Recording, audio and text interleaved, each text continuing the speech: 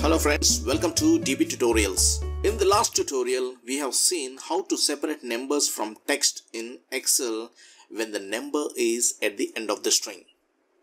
So in this tutorial, let us see how to separate numbers from text when the number is at the start of text.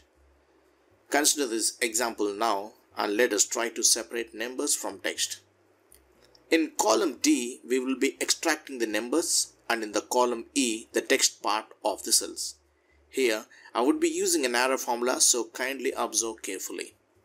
I enter the formula in cell D3 as equal to left open the bracket C3 comma 9 and close the bracket. You can see the result fetching the exact number from this text string. But every time the number of digits won't be exactly 9. So we need to replace the number 9 with a formula so that it automatically detects the length of the numbers. So type the formula to replace 9 as match open the bracket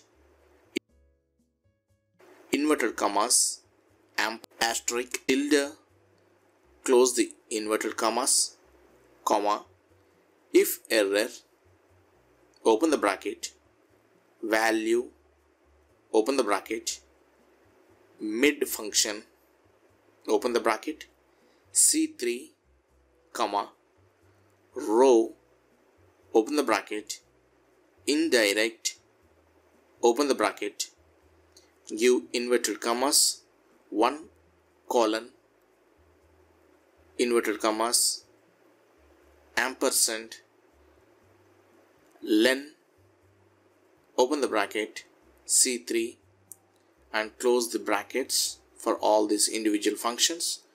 Comma 1 close with two brackets. Comma inverted comma asterisk tilde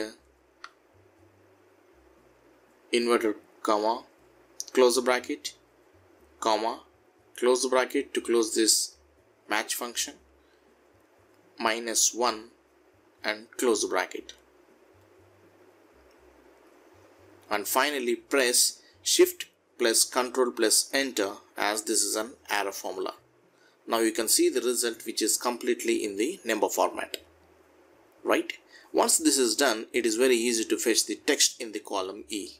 I type the formula in cell E3 as equal to substitute open the bracket C3 comma D3 comma inverted quotations close bracket and press enter to see the result which is nothing but the text part.